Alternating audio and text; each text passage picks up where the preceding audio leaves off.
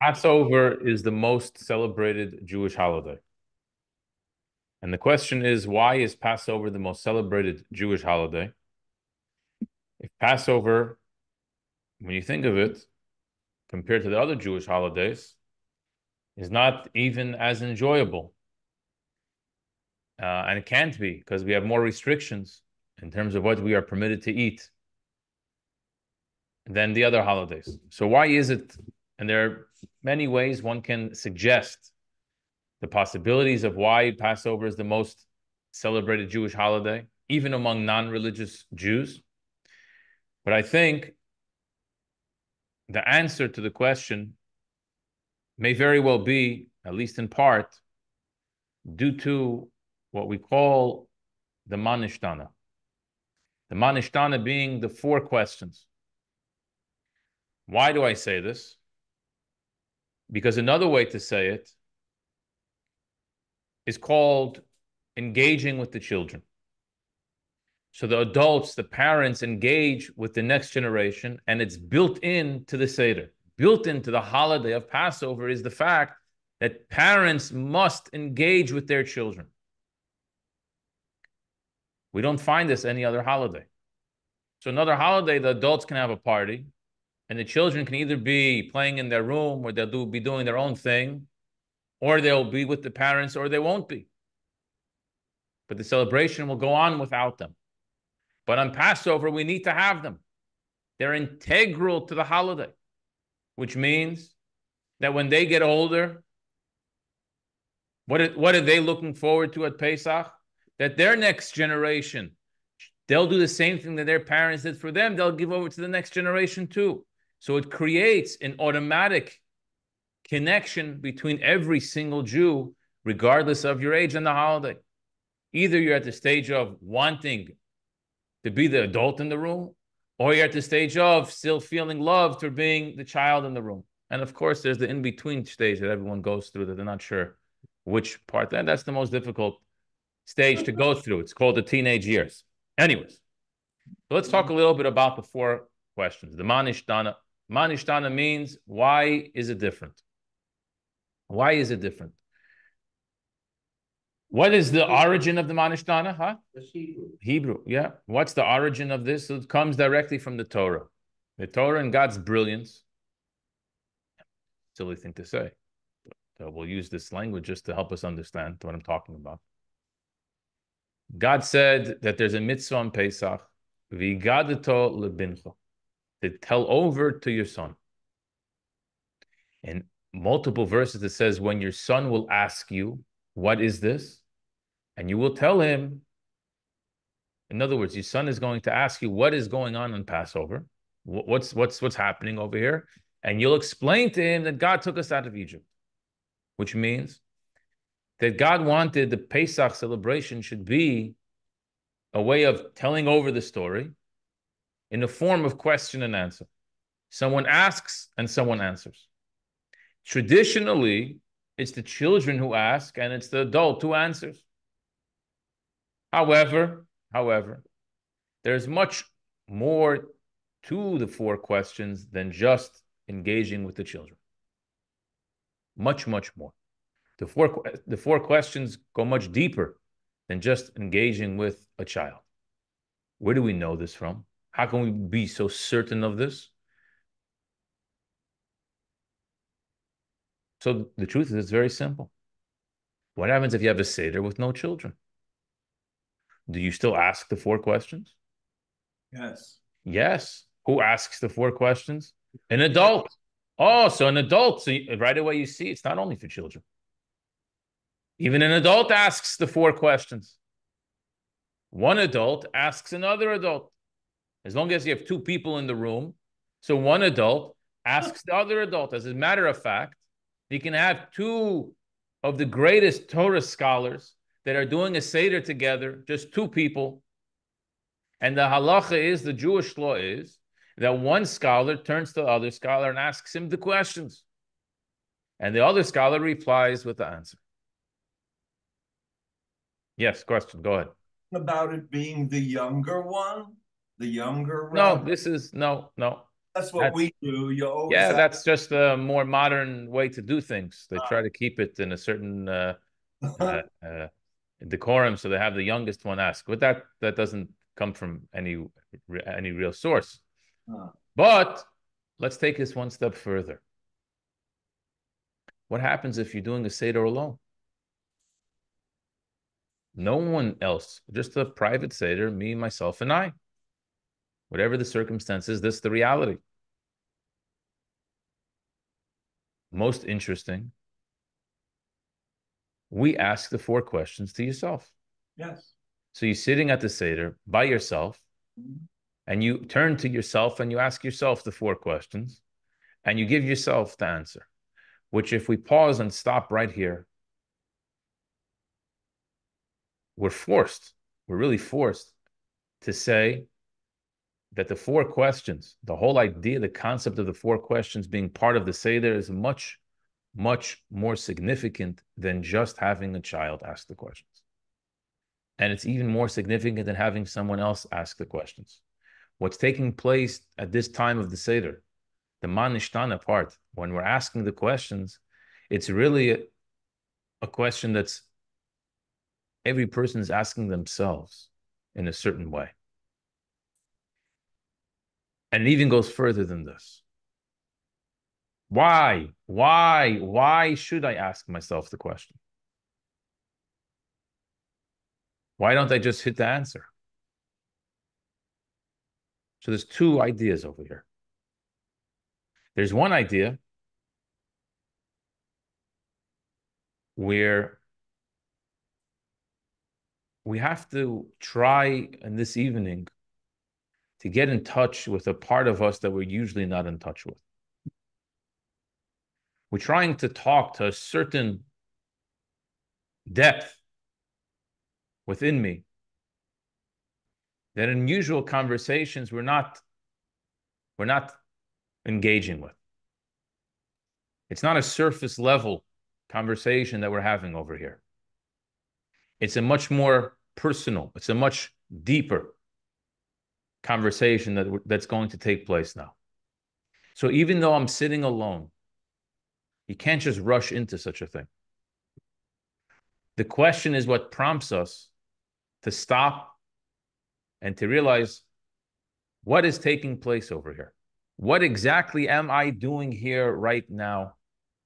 Why do I have these things in front of me?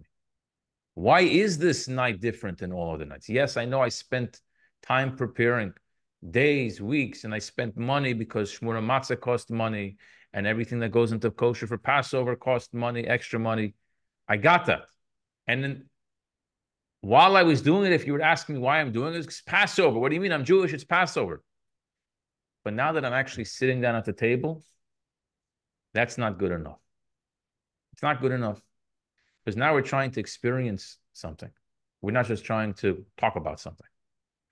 And to try to experience something, we have to dig a little bit deeper within us in order to have that full experience. And that begins with the Manishtana. Where all of a sudden we're stopping, we're talking to ourselves. Why is this night different? Now, in Chabad, the custom is, regardless of the size of the Seder, how many people are there, regardless of the age of the people that are at the Seder, everyone asks the four questions. Oh. The child asks the questions out loud, and the adult says the four questions in an undertone, which means is not only are we talking about a situation where two adults are in the room, so one asks the other, but now we're actually saying that everyone asks the questions. It's not a child's game. Or maybe it is. Why does everyone ask the questions? Why does everyone say the words of the questions? Not out loud, maybe, but at least in an undertone. Even the one leading the Seder, the one who is being asked, so to speak, even he says the four questions. Why? And the answer is because the line that the custom has become that before the four questions, we add an additional line. An additional line is, Father, I will ask you four questions. That's the opening line. So before you get to saying, why is this night different than all the other nights? We say, Father, I want to ask you, or I will ask you the two different versions. Can I ask you, or I will ask you four questions? What's so significant about this line? The significance of this line is that whose father? We're talking to our father, our collective father. We're talking to God. So, in a sense, we're all children in the night of the Seder. Everyone is a child. Even the one leading the Seder is a child. We're all children of God. And we all turn to God and we ask God, God, why is this night different than all the other nights? So there's a dual process that's taking place over here. On the one hand, what's going on is the the Seder. There are people. We're talking to human beings. We're engaging with children. And this is of utmost importance. Passover is all about passing on the traditions from one generation to another generation, rearing another generation of Jewish people in the traditions that go all the way back to the time when we left Egypt. Eating the same matzah and explaining why we're eating this matzah. Commemorating the fact that we would have and we should have a paschal lamb tonight, but we don't because the temple was destroyed. But had the temple not been destroyed, we would we would be eating a piece of meat right now. And the bitter herbs for the bitter times when we were in Egypt. And the fact that God came and took us out of that exile. That's on one level. But there's also another process that's going on. And that is a more sophisticated one. One taking place between me and God, a conversation that's going on with me and myself, conversation that's going on between me and Almighty God.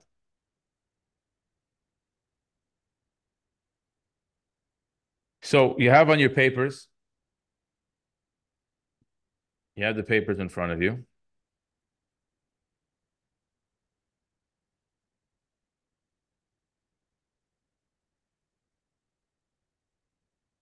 which is why I'll just conclude with one final note on this. Someone whose father is no longer alive, or someone whose father isn't present at their own Seder, and the question is even if their father passed on from this world already, we still open with that line, Father, I want to ask you the four questions. Because we're not only talking to the physical father, we're also speaking to our Father in heaven. So we'll talk tonight at a basic level, and then we'll go at a deeper level of the four questions. So let's talk basics. The four questions. If you open up a Mishnah in the Talmud, they're different in different Talmuds. There's actually different versions of exactly what to ask. What are the questions? How many questions were there? Our questions that we ask actually come prior, probably from the Jerusalem Talmud, and there used to be a question of why do we insist on eating this meat tonight roasted? Since we no longer eat roasted meat on Passover because we don't have the, the Passover offering, so we dropped that question. Years later, after the temple was destroyed, they added a fourth question, another question that's to do with reclining. So let's get now to the questions themselves. On all other nights, We don't even dip one time. But tonight, we're making sure we're insisting on dipping two times. What are the two times that we're dipping? One time, the karpas in the salt water, and the one time, the maror in the charosas. So at this point in the Seder, when we ask the questions, we have already done the karpas, which means we've already taken a vegetable, a potato or an onion, and we've already dipped it in salt water. Never, ever at any meal throughout the year do we do such a thing. Usually, you make kiddush every Shabbos and Yom Tov. You make kiddush, And then you go straight to washing your hands for challah. And over here, we're making kiddush. We're washing our hands. But instead of having challah, we're taking a, a vegetable and we're dipping it in salt water. So as an observer, as a child, immediately I'm struck with this. What's going on? Why are we dipping? Why are we not eating? What's, what's going on? The second question that we have is on all other nights we eat chametz or matzah, right? You have challah, you can have matzah, you can have whatever you want. It's not on your papers yet. Not, we're, not, we're not holding the paper yet. But tonight, sorry for the confusion. But tonight we're having only matzah. Question number three. On all other nights, we eat all types of vegetables, salad, whatever you want. But tonight, we have to have maror. You have to have the bitter herbs. Why? And the fourth question, which I said was added later, on all other nights, you eat either sitting straight or reclining. But tonight, we insist on reclining. This is the way I just gave it over to you. This is the Chabad version of the four questions. Now, everyone asks these four questions, but actually, most in a different order. Which is reclining. So that means you're not like on the couch. So it used to be no. So it used to be that's the, the, That the, really- that's how they would eat. Oh, okay. That was the aristocratic way of eating. Was uh, as the reclining, they would pass a little small table in front of you, where your where your servant would would serve you on. Um, and in the Talmud, there's much discussion, even the code of Jewish law, of removing the table from in front of you. You sit down, then you take away the table, you bring back the table. Nowadays, you can't move your dining room table anywhere. your table is set, and you're not taking it out of the house and putting it back in the house, or uh, no one's gonna be. You'll have bigger problems than just moving your table. But um, so, but yes, people would, would eat reclining. As there's there's much discussion. We're not. It's not the subject of today of why we recline today, who reclines, um, etc. But the basic idea of reclining is, since you asked, the basic idea is we lean to our left side on something. We lean on something to our left side. You can lean on the table, you can lean on the chair, you can lean back a little bit to your left side. But the idea is that we're not just usually we're eating sitting straight up. Tonight, to remember the times of royalty, which it used to be that royalty meant that you had that recliner, etc. So we're leaning, but we don't have the whole meal that way. We have certain times of the meal, which we'll get to in a moment. So why do we specifically use this order? And there's a question on this order. And the big question is like this. The first thing we did tonight at the Seder is make the Kiddush.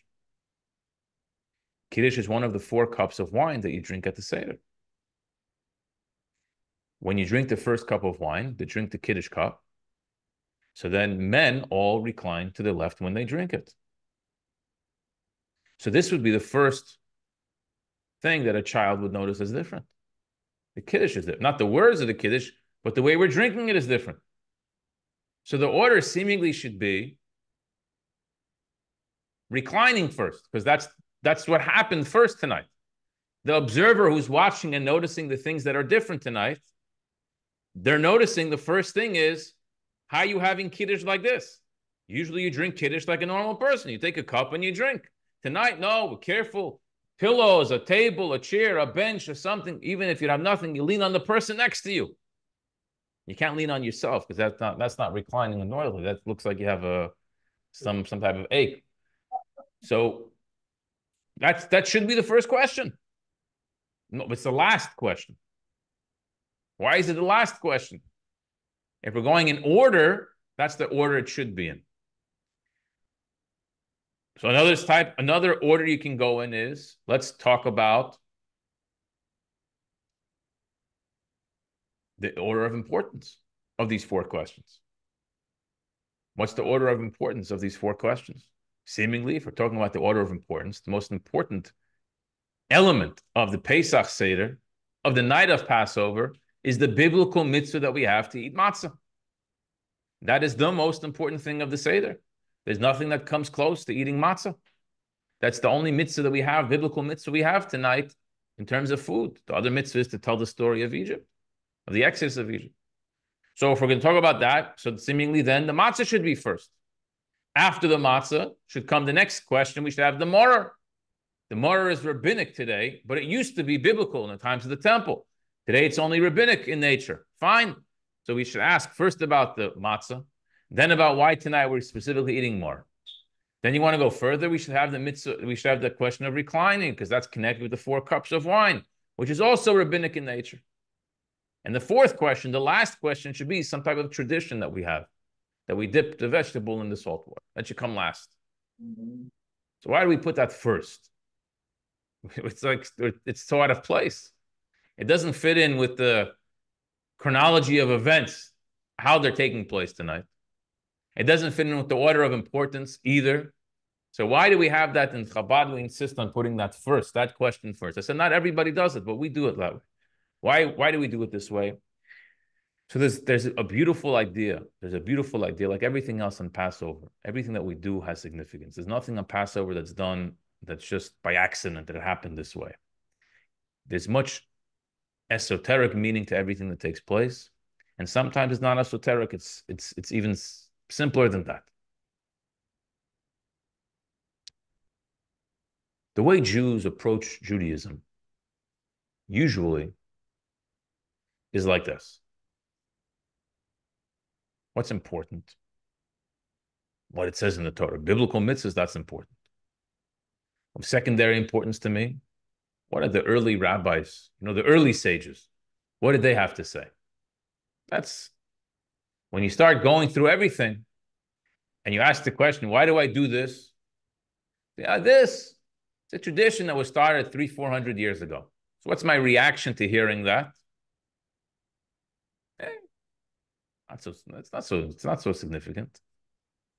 Which, from a certain perspective, it's true. It isn't as important in Judaism as the biblical mitzvah. It's, it's certainly true. It's just a custom. It's a tradition that we have.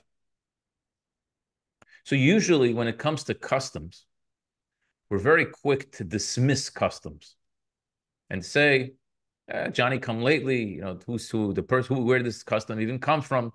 The reason for the custom is no longer around, so drop the custom. We're looking to rid ourselves, to disconnect ourselves from this custom. And we justify it with seemingly some type of a logical explanation of it really isn't that important. And here comes the order of the of the of the four questions. Tonight is all about, as I said in the beginning, if we're going to follow the theme of Jewish continuity, that it is actually the Passover Seder, the night which is emblematic of Jewish continuity of one generation giving over Judaism to another generation. So we are to realize and not make the mistake. Be conscious of the fact that tradition and custom is actually what holds Judaism together. It's actually the glue that keeps it all together. The first question we ask tonight is about a custom. That's the thing that the children are most attached to the things that actually are most meaningful to them is this is the way my family does it. This is the way we this is the way we grew up. It became a part of me. This is how we do it. There's a lot of big things out there. And we do those things too, or we strive to do the big things. All good. But what is my child actually attached to? They're attached to the customs that we do. And if we show any lack of importance for these customs, not because we're disrespectful to them, but just because we're trying to maybe uh, focus on other things, we're making a mistake. It's number one, number one priority. Giving over Judaism from one generation to another, we need to have customs. So that's the order of the of, of the of the questions. Now, In 1972, the Rebbe went through the Manishtana, the four questions, and the Rebbe gave a much, much deeper understanding of what's going on when we ask him the four questions. Rebbe went through each question, each of the four questions, and zoomed out, if you will, or maybe zoomed in much more, and presented the following idea. This you have on your papers now.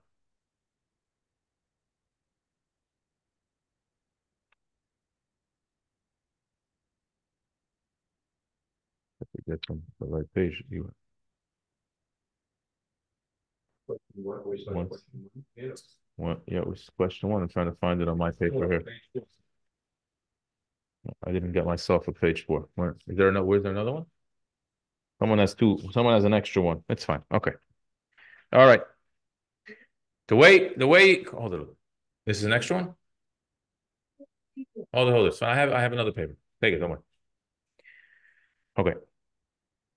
The Jewish people, the Jewish people from when we left Egypt, we lived in the desert for 40 years.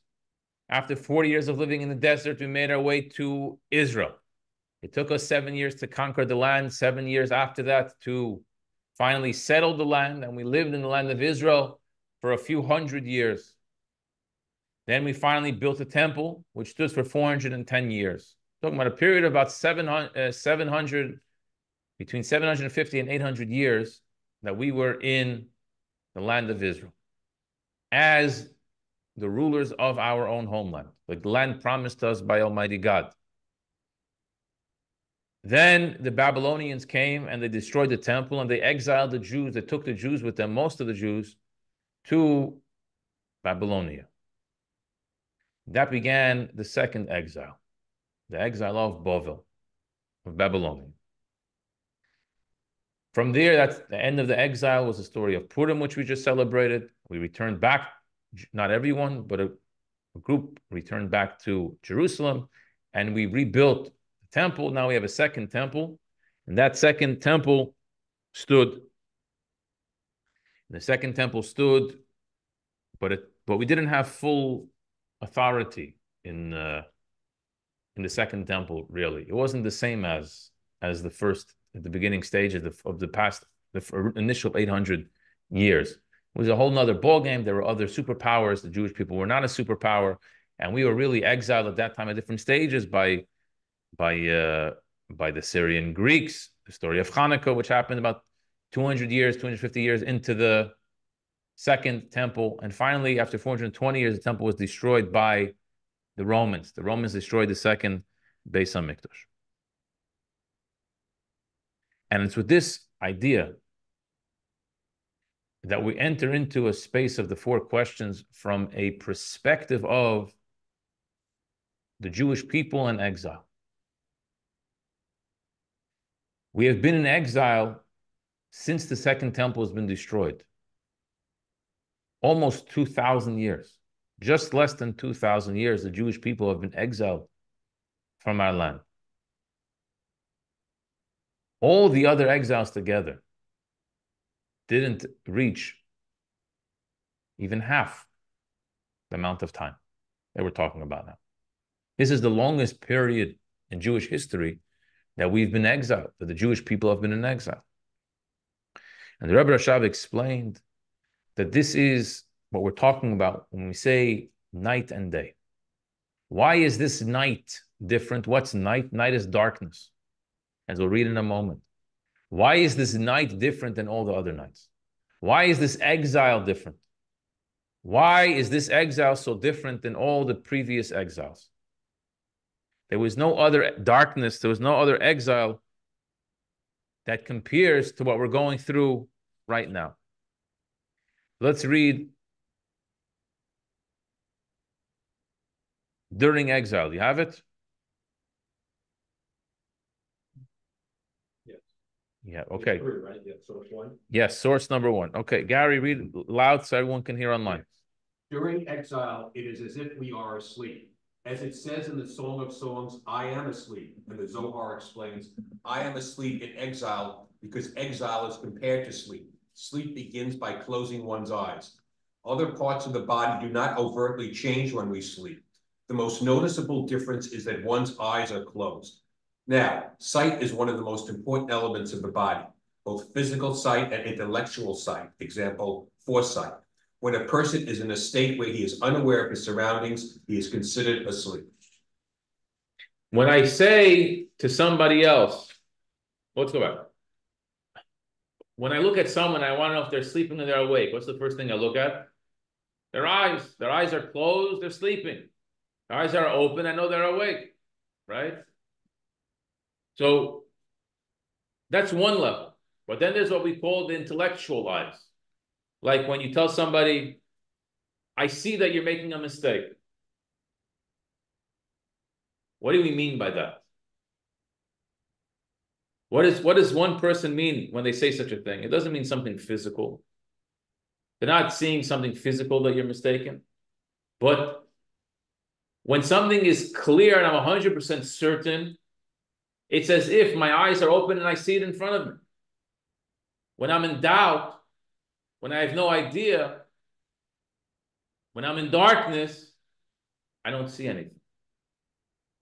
It's completely blocked, depending on how confused a person is.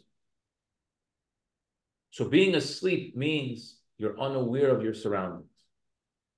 Being awake means your eyes are open, you see the truth, you see the reality in front of you. You can be a walking person, you can be alive in this physical world, but you're asleep to the truth of the reality that's taking place because you don't see it. You're unaware. You're living in darkness. So we don't only mean awake and sleeping physically. We're talking about these ideas. We're talking about our understanding. Do we have a clear understanding or not? When someone is asleep, you dream. What's the idea of a dream? You dream of things which are many times unrealistic. They're crazy. As a saying in the Talmud is you have a dream of an elephant walking through the hole of a needle. You, can, you, can, you can dream up of anything, any imagination possible, right? Golus, exile is one big dream. Why is exile one big dream? Because it's impossible to understand with logic how it could be that God's chosen people, how could it be that God's beloved children should experience such atrocities the way the Jewish people have experienced? The ugliness, the torture, the dehumanization of the Jewish people for the last thousand, two thousand years is not something which we can understand. It's one big dream. It's like the impossible. If it would happen to anyone, that would already be a problem. Let alone when you say this is God's chosen people. These are the people that God chose to be a light unto the nations. God gave these people a mission to perfect the world, to make the world a better place. And yet, what's going on to them? What's happening to them? It's like one big unrealistic dream that's taking place. So, how is this exile different? than all the other exiles. How is this night different from all the previous nights, from all the other exiles, from all the other difficult times and darkness that we lived through?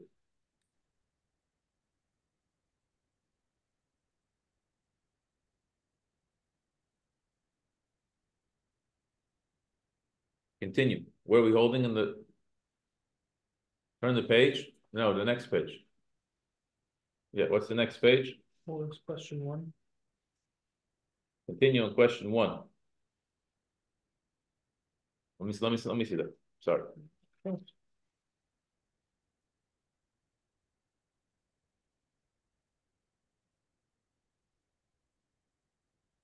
Yeah, let me have page three, please. Three is on the back side.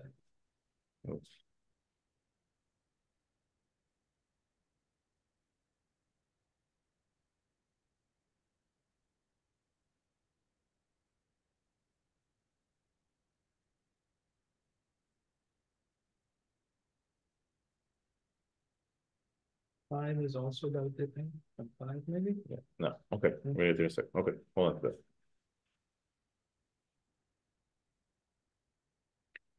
Exile is compared to nighttime. The fact that the Jewish people are scattered among the nations is a sign of darkness. It signifies the darkness over all people of the world in the fact that God's presence in the universe is not recognized. If that recognition would have been widespread, the Jewish people would no longer been in exile. You understand what he's saying? The fact that the Jewish people are in exile is due to the fact, the reality of the Jewish people being, being in exile is due to the fact that the nations of the world do not see the reality of God's existence. For if they, if non Jews, would openly see God and recognize God, they would never be able to take God's chosen people and treat them the way they're treating them. So they're living in a darkness, they're living in a confusion. Because of that, the Jewish people are suffering. It also signifies a darkness among the Jewish people because the exile is the result of our sins. Now, we've experienced many different exiles. In addition to the exile in Egypt, we were exiled by the Babylonians, by the Persian Medes, by the Syrian Greeks. Today, we are in our final exile. There's no doubt that this final exile is different. But in this regard, the child asks, Manishtana, what makes this night different than all the previous nights?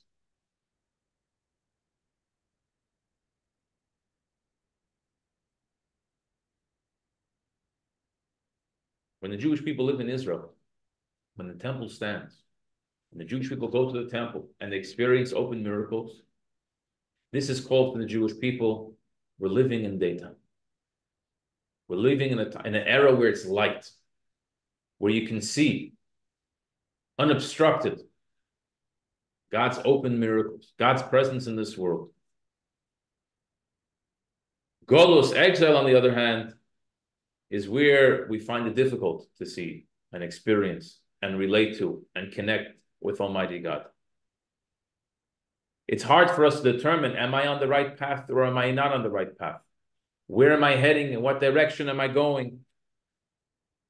What do I do to protect myself from the obstacles that are along the way on the journey? In a spiritual sense, we're, we, are we are always questioning ourselves. What is the best way for me to attach to God? What is that path that I should be on right now? What do I need to do to have that real experience which uplifts me and resonates with deep within me. It permeates my, my being. We're all yearning for that, but we're in darkness. We're in exile. Now let's get on to the explanations. What are the specifics of the first question? So let's read the first question. Brandon, take it away. Nights we do not dip even once, but on this night we dip twice. First unique element of this final exile is that on all other nights we didn't dip. The Rebbe Rashab explains that dipping is an expression of cleansing and purification. On all other nights we didn't even dip once. In other words, we weren't fully cleansed, for they were followed by further exiles. On this night, however, we will dip twice. Our body will be refined and our souls revealed. To explain this in simple terms so that even a child, the questioner, could understand, we dip items into water or other liquids to cleanse them from unclean matters. Even a young student knows that Torah speaks of bathing in water and becoming pure. In other words, dipping is a form of cleansing. This is also true on a spiritual level. When we do something that is forbidden, and even a child knows that he might occasionally do something wrong after being enticed by a friend, etc., we need to cleanse and purify ourselves from that deed. How do we dip twice? Our deeds take on two forms. They're acts of the soul and acts of the body. In simple terms, some sins are associated with eating and drinking, like eating forbidden foods, failing to recite a blessing, and so on. Those deeds are associated with the body, but some deeds are associated with the soul, such as the obligation to recite the Shema, where we confirm our belief in God and our love for Him. Oh. We therefore need to be dipped twice to cleanse ourselves from sins of the body and the soul. This is the meaning of the question. On all nights, we did not dip even once, but on this night, we dipped twice. Other exiles were followed by incomplete redemptions, indicating that the Jewish people weren't fully cleansed and purified, and therefore reverted back to exile a short time later. But this final exile will be followed by a final and complete redemption, when all evil and pain will be abolished from existence. This indicates that our exile has the qualities of a double dipping, which represents complete purification for both our bodies and our souls. In the Rebbe Rashab's words, our bodies refined and our souls revealed. This is an unbelievable deep teaching that the Rebbe Rashab gives us over here. We're talking about the Jewish people as a whole going through a purification process. Exile is a purification process. It's a process of cleansing.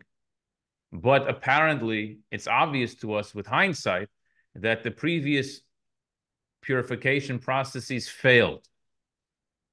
Why? Because it was only dipped once. It didn't capture the entire existence of every single one of us. And therefore, tonight, we're going to dip twice. In other words, in this current exile that we're in, we need to have a double purification. Body and soul will immerse and will come out clean and ready for a final redemption. The second question, that's the first question of the Manishtana. The second question of the Manishtana is about Chometz and Matzah. Chometz represents arrogance. Matzah represents humility. The difference between Chometz and Matzah is that Chometz rises. Once it begins to rise, it's Chometz. Matzah, what makes Matzah unique is the fact that we don't give it a chance to rise. We bake it before the dough has a chance to rise. Now we get to the depth of the question. In all other nights, which means in all the previous exiles, we didn't fully rid ourselves of our arrogant character traits. But this exile we will leave in total humility. We will be totally cleansed of any form of evil, which evil only attaches itself to arrogance. Someone who has zero arrogance will never sin. Someone who is totally devoted, totally given over to the will of God doesn't sin. Only someone who feels themselves, feels their own needs, feels like they want to fulfill that need, fulfill that desire, fulfill that passion. So the source of all sin is chometz the arrogance, the feeling of oneself. So continue reading, Brandon. Question number two. On all nights we eat chametz or matzah, but on this night we eat only matzah. This is followed by the second question. On all nights we eat chametz or matzah, but on this night we eat only matzah. Chametz and matzah differ in the fact that chametz rises, which signifies a perception of self-worth, self-worth and arrogance, which is the source of all evils. A child knows that as a result of arrogance, he may disrespect his teacher or parent, and he may even come to disrespect God. Matzah, on the other hand, represents humility and unpretentiousness. So the question states, on all other nights we eat chametz or matzah. The other exiles didn't conclude with a complete redemption, which indicates that we were left with a residue of chametz. But at the end of this night, with the arrival of the true and final redemption, redemption which won't be followed by another exile, we will be only matzah, cleansed of all chametz, for evil will cease to exist. The third question. The third question is about the maror. And every other night we eat all types of vegetables. Tonight we have to have more. Vegetables, different types of vegetables represent the pleasures derived from food of this world. Maror, on the other hand, represents the absolute lack of pleasure.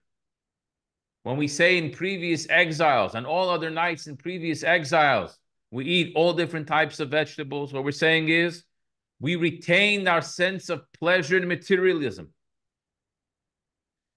tonight, meaning when we're going to leave this exile, this night is different. The night that we're in now is different. How is it different?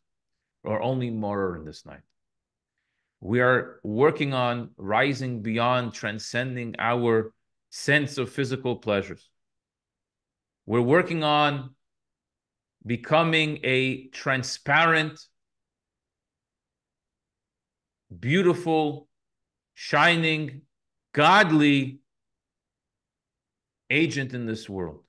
We're the only thing that gets us going.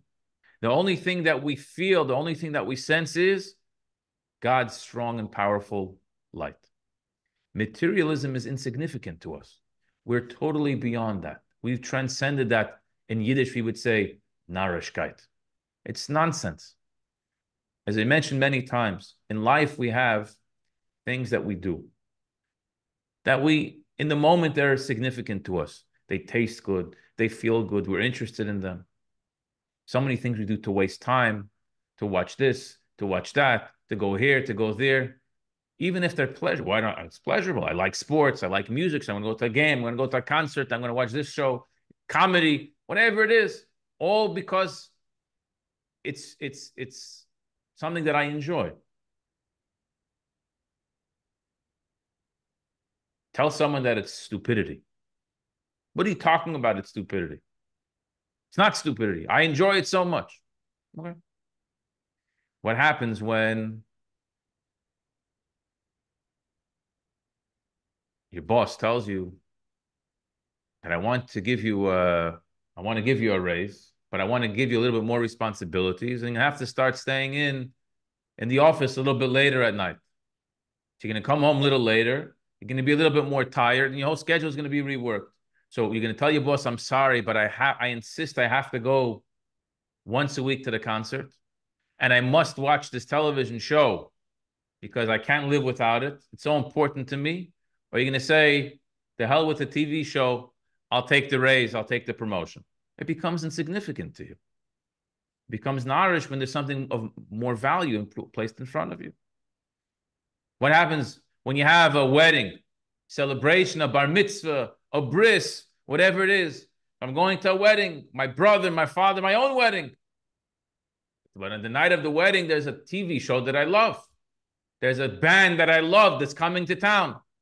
Everyone, I'm sorry, we're going to postpone the wedding because I have to go watch the my band now. Sugar, why? As much as I say that I love this and I care about it, it's insignificant. Because right now I'm in a totally better place than that. That becomes narishkeit to me. I'm going to a wedding of my of my relative.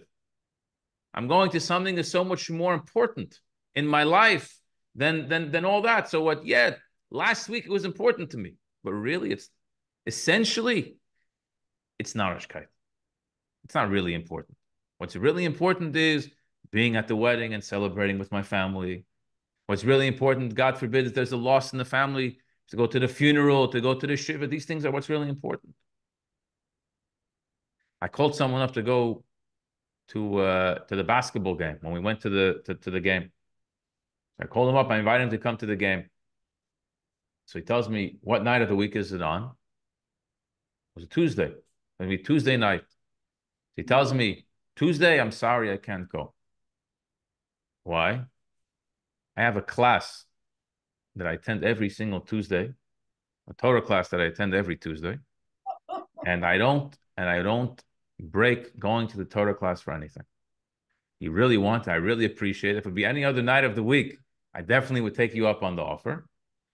But I don't break going to the Torah class for anything. So no, thank you. And I hung up the phone and I was so impressed. Wow. I know this person. I was very surprised. I'm, I'm happy. I'm, I'm very, very happy that he's reached a point in his life where this is of importance to him that what you, a basketball game, going to, to, to get invited, to go to a suite, etc., this was of insignificance to him as compared to a Torah class we live in a material world. So we're we engage with materialism. We take pleasure from the material world, yes. But there reaches a point where when you're attached with Hashem, everything becomes it's who cares? They say the story of the Alter Rebbe. The Alter Rebbe once invited, had a coming for Shabbos, a very special guest, one of his colleagues, a holy tzaddik.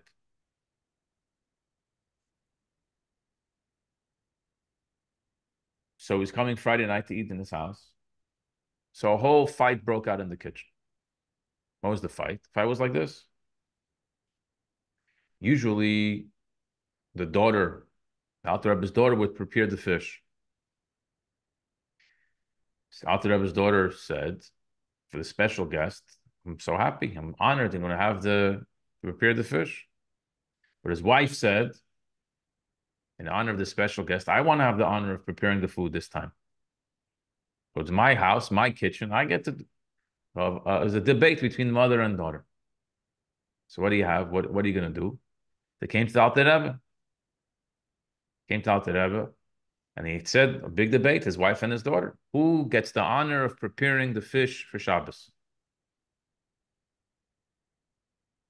The Alter Rebbe listened to both sides, and he said, "Listen, my daughter, she makes the food every week, so she's entitled to make the food this week.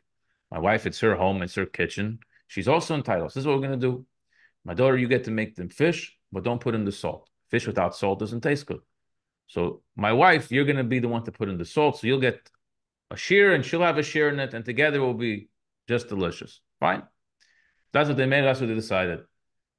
The daughter made, made, made the fish, but she's so used to making the fish with salt. She forgot she's not supposed to put in the salt. So she put in the salt. So she made the fish with salt. Perfect. Abdeb's wife came in, saw the fish, said it's her job to put salt in. So she went and dumped in the salt. So it's fantastic. So what do you think this fish tastes like now? And a, a, a double uh, a double dose of salt. It was uh, it was inedible. They came to serve the they came to serve the fish Friday night, and uh, they brought the fish out to the to the table. They served the guest. They served out to them. and was sitting down to eat. The Alter Rebbe takes a bite from the fish. He's eating it, and he gives a look, and he sees the guest is not touching the fish. He, he's not eating it. He couldn't eat it. So the Alter Rebbe thinks that must be there was no salt put in the, into the fish.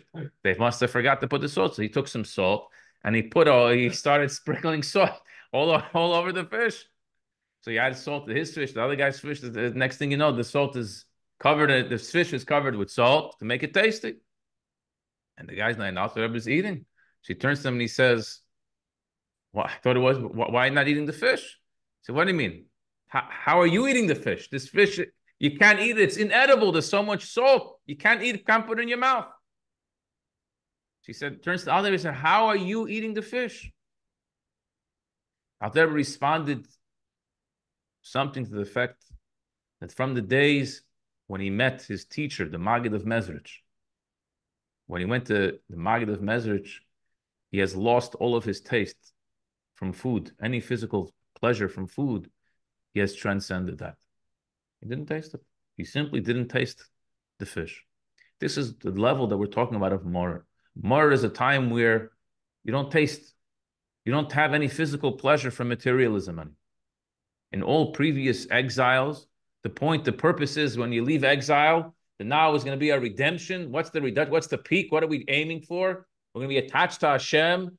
Then we're going to forget about Narishkeit. The previous times it was tried and failed because we went back into exile.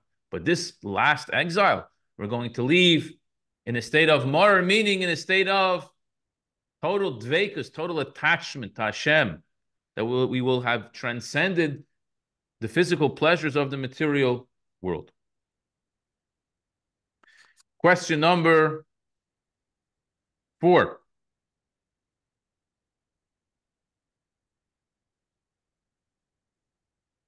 Roslyn, you want to read the question or Mark? Who wants to go? Mark or Roslyn? Huh? On all nights we eat sitting upright or reclining, and on this night we all recline. This is followed by the fourth question. On all nights we eat sitting upright or reclining, and on this night we all recline. Both sitting and reclining are positions of rest, a child knows that after standing for a while, he gets tired and needs to sit down to rest. But there is a distinction between the two positions. Sitting isn't true rest. It is a midway position from which you can easily stand if necessary. Reclining, on the other hand, is the expression of true, uninhibited freedom. This is the difference between this exile and the previous ones. Some redemptions were longer, reclining, and some shorter, sitting. But they always knew that another exile could come in its wake, so even the longer redemptions weren't true freedom. Only the final redemption, which will not be followed by another exile, will be a true rest from the exile. And then we will all recline and will achieve true rest. Okay, so the difference between sitting and resting, sitting and reclining, is the fact of how mobile you are. When you're reclining, if you want to move, first you have to get sit up, and then you can get get up to move. But if you're sitting up, all you have to do is stand up, and you're on the go.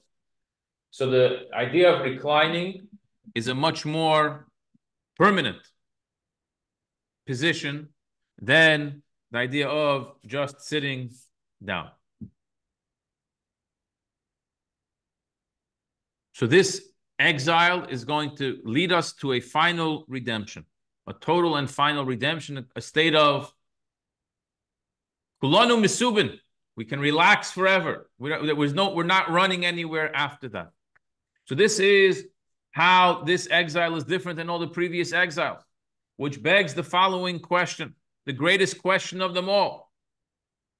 How is this possible? The child asks. Why will this next redemption be different than all the previous ones? Why? asks the child. Fine, I get it. It's gonna be. You're telling me it's gonna be. Why is it going to be this, uh, this way? How are we going to merit to have this idea of double sense of purification, double dipping, that both the body and the soul will be fully immersed, coming out 100% clean, to reach a state of kulei matzah, 100% humility, no chometz, zero arrogance, to reach a state of maror where everything, all the physical pleasures taste like maror to us. We have no pleasure in them whatsoever. To finally, the fourth question of fully reclined, kulanu misubin, How is this going to be different? Why is this redemption going to be different than all the redemptions up until this point? And the answer is we have to go back to Egypt. To understand this, we have to go back to Egypt. This is what we say in the Haggadah. Avodim hayinu leparib mitzrayim. We were slaves to the Pharaoh in Egypt. When the people of Israel were servants to the Pharaoh in Egypt, Stop for a moment where we are today and try to put yourself in their mind, in their heart, while they were living in, in Mitzrayim and exile. As we spoke last week, they were completely immersed in Egypt. They were totally immersed in the culture. They were totally broken in terms of being Jews. They were totally lost. The expression used is like they, they were enveloped in Egypt like a baby in the, his or her mother's womb. They needed to be removed. They needed to be extracted one nation from within another nation. This was quite a difficult task. And you can imagine they asked the following question How in the world is God going to do this? This is impossible. It's an impossibility over here any realist said to themselves, this is ridiculous. We're never going to get out of here. How are we going to ever get out of here? Physically, spiritually, you name it. There's just no way out. There's no absolutely no light at the end of the tunnel because there is no other exit. This is tunnel is a dead end. We're stuck in here forever. And what did Almighty God say? Or better, what did Almighty God do? God came along and he didn't leave one Jew behind. He took them out the moment he promised he's going to take them out. He took them out. Biyod chazorko v'zira in the words of the Torah, with a strong arm and an outstretched arm. And the same thing is going to be for us in this final redemption, in the future redemption. The verse says, Ki Mitzrayim as in the days of the Exodus of Egypt, I'm going to show you wonders with the coming of Mashiach Tzidkenu. We asked the question, how is it going to be possible? You want to know how? To understand how this is going to be possible, you have to understand that the exodus from the exile in Egypt was also an impossibility. It also made no sense. There was also no way out over there. But it happened. And the fact that it happened is why we're celebrating now. And know this that the future redemption is also going to happen. How is it going to happen? If you're a realist, you say it makes no sense that it's going to happen. The odds are stacked against us. We're scattered all over the world. We're assimilated all over the world. Most Jews don't even identify as Jews in the year 2024. How is God? That's not our business. The same way it wasn't our business then how it's going to happen. When the right time came, God took us out. That's it. Tonight it's going to happen. At midnight, God struck. And morning, as soon as the sun showed its beautiful light, the Jews were on their way marching out of Egypt. The exact way, the exact same thing is going to happen. At the right time, God's going to strike, and we are going to get out of this exile. We will exit a state of darkness where we're confused and we don't see the reality of God's existence. All of a sudden, God's going to turn on the light in the world. And as soon as God turns on the light in the world, it's not going to be for us, for the world. Non Jews are going to see God's light. What's the first thing they're going to do? They say, Jews, goodbye. Go to where you belong. We want to help you. We want to assist you. We want God's glory to remain in this universe. That's the ultimate level. God's not going to break the non Jews like he struck Egypt and broke Egypt. God's going to turn on the light. It's going to be daytime now for everybody. And automatically, the Jewish people will have a complete, a complete redemption from this exile. So this gives us a very deep and powerful message into the four questions. It takes the questions from a simple explanation dealing with physical things like matzah maror and reclining, etc., and brings it to a whole communal level of the Jewish people and a historic level of the Jewish people. And this is what we're doing tonight. It's not one or the other, it's multiple things happening at the same time. Everything at the Seder is like an onion which has multi layered, many, many layers to the onion. They're all true, they're all a reality. We celebrate Passover on one level, one of these levels, and we try to incorporate into our Pesach experience as many as we possibly can. We try to go as deep as we possibly can. So hopefully tonight everyone walks away a little bit wiser and smarter to be able to focus on one of the big highlights, if not the big highlight of the Seder, which is the four questions, the Manishtana. And now, anyone have any questions? Fifth Uh, anyone have any questions?